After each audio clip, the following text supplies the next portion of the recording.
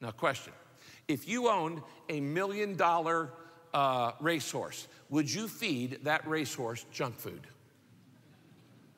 You'd be crazy to do it.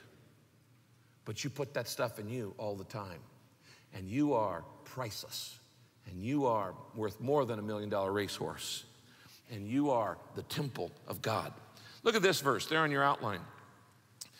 I urge you, brothers, in view of God's mercy, to offer your bodies as living sacrifices. Notice, doesn't say offer your soul, offer your, your body, a physical body.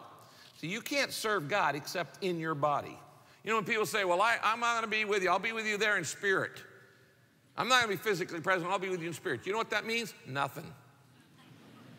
Because you can't be somewhere where you aren't. You can only be where you are physically in, in your body. It says, offer your bodies as a living sacrifice, holy and pleasing to God. This is your spiritual act of worship. Did you know that taking care of your health is an act of worship? That taking care of your body is an act of worship. So, let me summarize this. I want to get my body in better health. And as your pastor who loves you, I want to get your bodies in better health. Not just so you can look good, not just so you can feel good, not just so you can live longer. Yeah, I'm glad for all that. And those are legitimate motives. But because of these six.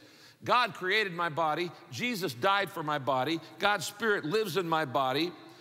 I'm connected to Christ's body. One day God's going to resurrect my body, and I'm expected to take care of my body, and one day I'll give an account for it. That's the spiritual reasons. Let me say them again. God created your body, Jesus died for your body, the Spirit lives in your body, your body's connected to the body of Christ. Your body's going to be resurrected in version 2.0 someday, and you're expected to care for it in the meantime. Now, based on these six facts, can you see how caring for your body is more than just, I'd like to look better? It is a spiritual discipline.